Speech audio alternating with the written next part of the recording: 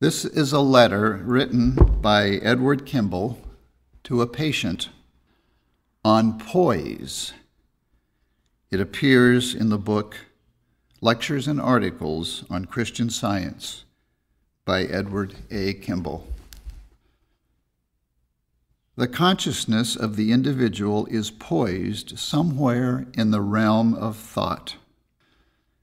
The poise of the perfect man is in perfection a state of self knowledge, dominion, grandeur, repose, superb appreciation.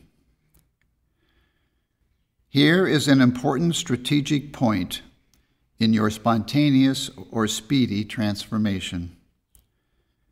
In a certain sense, your poise will save you because your poise is your real appreciation of being.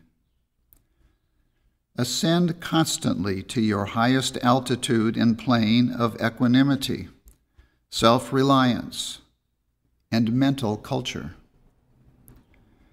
Ascend above the plane of concept, whereon the ordinary trash of human belief can move you and substitute itself for your natural peace.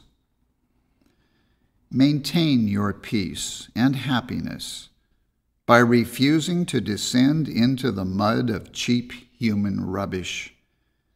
And know that your composure cannot be upset by every or any mortal who can be used to wallow in the mud.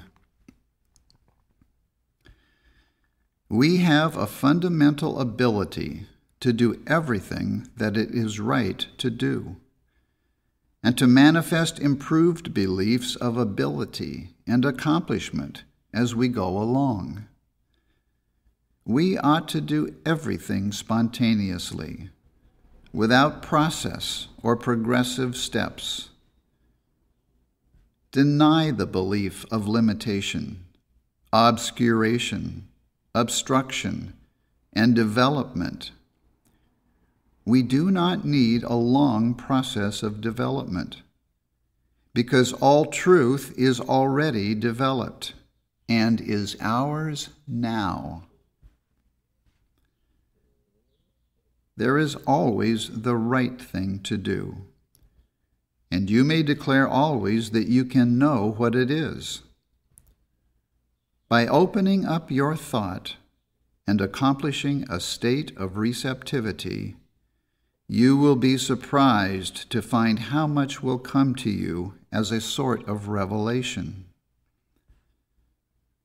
Avoid self depreciation. It is always a step backward and will keep you down on a low level. Nothing that anyone may think can possibly harm you. Do not believe otherwise. Fear is an utter fiction. It is always about nothing, or rather, it is about its lie concerning something. It is never yours. There is no such thing as, quote, my fear. Exclude it by keeping it at arm's length. There is no matter to be cured or changed. Nothing needs to be changed but a belief.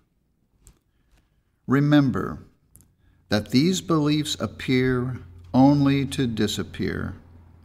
Therefore, be not afraid.